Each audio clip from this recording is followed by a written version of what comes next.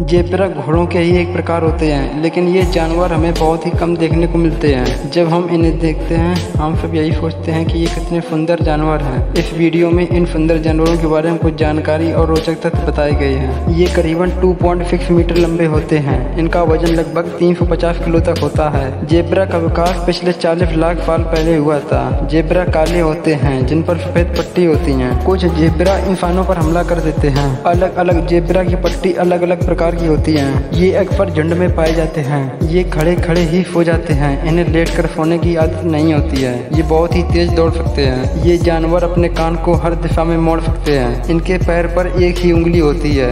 ये नारंगी रंग नहीं देख पाते हैं। दुनिया का सबसे बड़ा जेबरा करीबन 350 से 450 किलो तक का है। ये ज़्यादातर अफ्रीका में पाए जाते हैं। इस जानवर को विलुप्त होने का खतरा है। इनकी पूंछ लगभग 50 सेंटीमीटर की होती है। इनका जीवन काल लगभग 20 से 40 साल तक का होता है पानी पीने के लिए और घास खाने के लिए ये कभी भी तैयार रहते हैं। ये कुत्तों की तरह भौंकते भी हैं। ये पानी के बिना जीवित नहीं रह पाते हैं। दिन में कम से कम एक बार इन्हें पानी पीना ही पड़ता है। ये बेरा कितना गुस्सैल है। ये बात अमेरिका की चिड़ियाघर से पता चलती है। वहाँ के रखवालों को सबसे ज़्यादा घायल करने वाला प्राणी जेबरा ही है। इनकी सुनने की शक्ति बहुत ही ज़्यादा होती है। जेबरा के बच्चे जन्म के 20 मिनट में ही चलने लगते हैं। इनका औसतन जीवन काल 20 से 40 वर्ष तक का होता है। ऐसी ही और रोचक जानकारियाँ पाने के लिए हमारे चैनल को सब्सक्राइब करें और बेलाइकन दबाएँ।